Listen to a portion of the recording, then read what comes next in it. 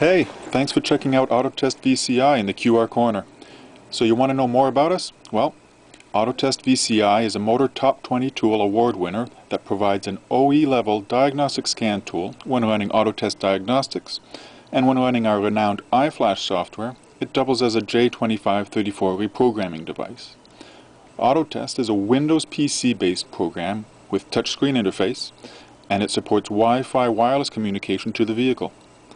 In addition to advanced functions like bidirectional controls and multi-channel graphing, Ottotest features new module setup for when you need to replace a GM body module, like these radio settings.